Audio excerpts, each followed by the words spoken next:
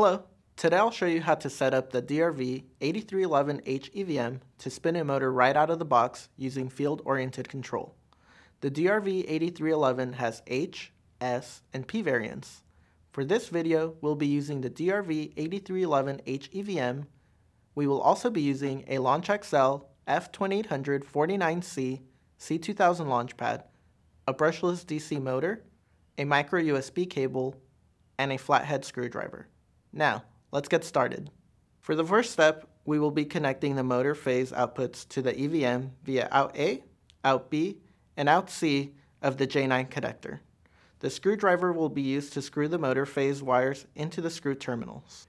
Next, we can connect the power supply to the 2-pin power connector found on J3, with the positive terminal connected to VM and the negative terminal to ground.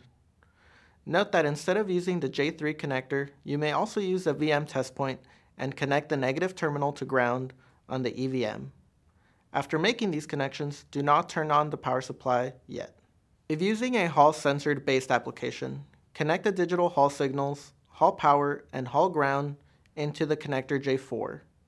You can use your finger or the flathead screwdriver to push down and connect each wire into the socket. Ensure the Hall Power Select jumper J6 is set to either 3.3 volt or 5 volt to match your motor Hall sensor specifications.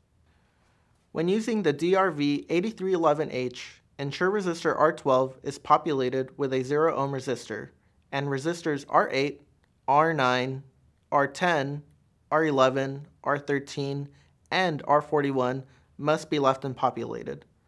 This allows the user to select settings using the mode, slew, and gain pins by using jumpers on J10, J11, and J12.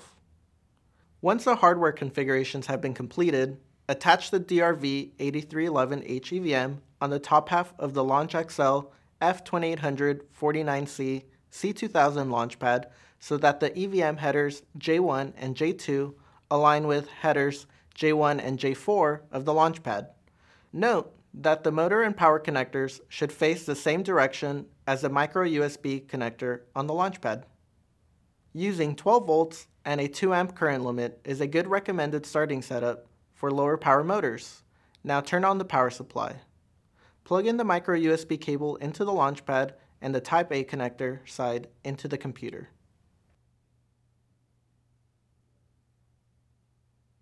Now, we will connect the hardware to the GUI for sensorless field-oriented control using application firmware from the Motor Control Software Development Kit.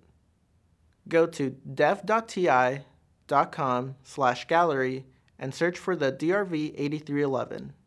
Click on the DRV8311X EVM underscore instaspin underscore universal underscore GUI to access the GUI. Accept the README that appears and wait for the GUI to flash the program into the MCU. When the program is finished, the hardware connected message appears at the bottom left corner of the GUI. Begin by clicking Enable System. This runs a brief 50% duty cycle output waveform on all three output phases to calibrate offsets in the hardware. When the calibration is complete, the Offset Cal checkbox disappears you'll see the GUI has calculated the bus voltage and voltage and current offsets. Next, configure the number of pole pairs in the motor and press enter. Another parameter is the estimation current for motor resistance and inductance. This should be set at about 10 to 20% of the maximum motor current. Once configured, click on the Run button. For the next couple of minutes, the algorithm will automatically identify motor parameters such as online motor phase resistance, direct and quadrature inductance, and motor flux.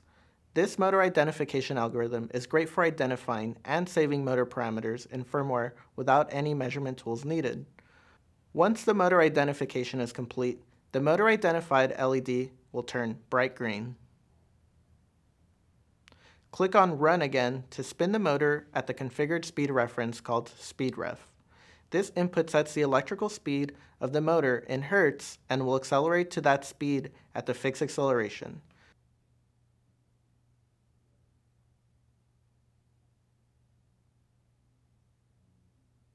To stop the motor, simply uncheck the run box and the motor will coast to a stop.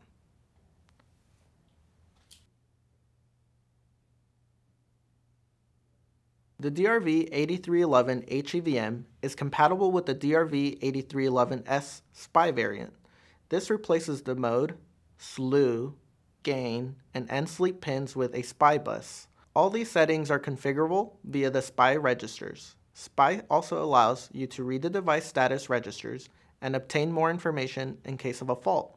In order to use the SPI variant device on this EVM, there are a few changes that need to be implemented to the EVM board.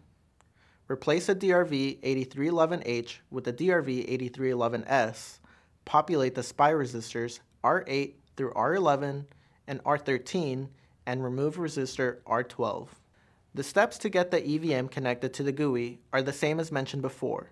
The only notable change is that when using DRV8311S, you will now have access to read and write the registers in the tabs above.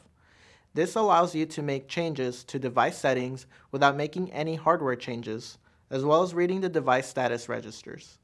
Repeat the steps as shown before to configure the motor poles and estimation currents to identify and spin the motor. Visit the DRV8311H EVM and LaunchXL F2849C tool pages to order the evaluation hardware and start spinning brushless DC motors in 10 minutes or less with sensorless FOC. Thanks for watching and have a great day.